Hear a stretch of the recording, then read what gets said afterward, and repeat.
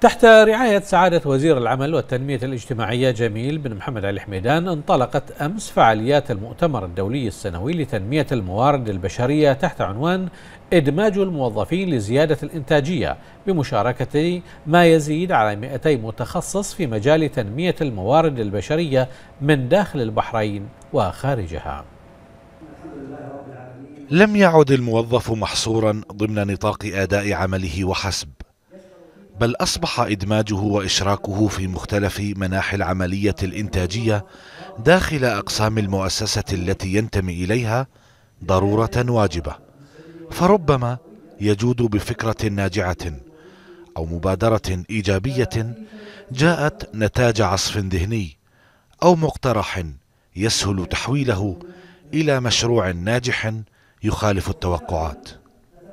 والمؤتمر الدولي لتنمية الموارد البشرية الذي يطل سنويا بمحاوره وأهدافه جاء ليسلط الضوء على زيادة الوعي لدى المسؤولين بالموارد البشرية العاملين في مؤسسات القطاعين العام والخاص بأهمية مشاركة القوى العاملة وتفعيل مساهماتهم في رسم سياسة منشآتهم سعيا لتحقيق التوفق المنشود. يعتبر موضوع الإدماج الوظيفي أو الاندماج الوظيفي من المواضيع التي تشغل المؤسسات العالمية وبالتحديد إدارات الموارد البشرية وطبعا تشير معظم الدراسات أن هناك نسبة الاندماج الوظيفي على مستوى العالم فقط 13% وهذا طبعا يؤثر سلبيا على آه، مستوى الإنتاجية. إحنا في جمعية البحرين ارتئينا تنظيم هذا المؤتمر نسلط الضوء على موضوع الاندماج الوظيفي وعلاقته وارتباطه بالإنتاجية. مساع تحاكي المنطق ومبادرات تعي جيدا مكامن القوة التي من المؤكد أن تستند عليها مصلحة العمل العليا.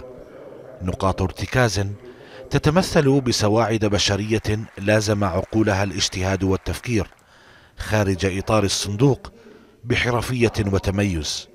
وبالشكل الذي من الواجب توافقه مع أهداف المنشأة التي يعملون تحت مظلتها.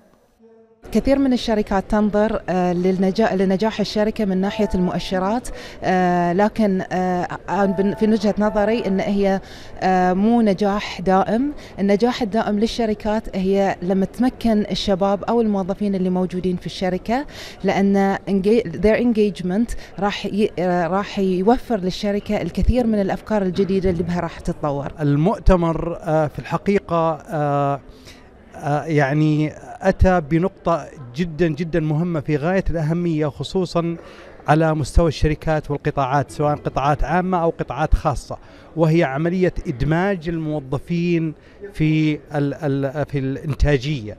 هذا بشكل أو بآخر سينعكس في رفع إنتاجية الموظف إضافة إلى ذلك إلى رفع مستوى الربحية للقطاع سواء عام أو خاص أو حتى تطوعي. إن من أساسيات العمل الإداري النشط ومنهجيات القيادة الحديثة. وضع الموظفين وطاقاتهم في مقدمة الأسباب التي تضمن ديمومة العملية الإنتاجية واستمرارية تدفق محصولها الوفير.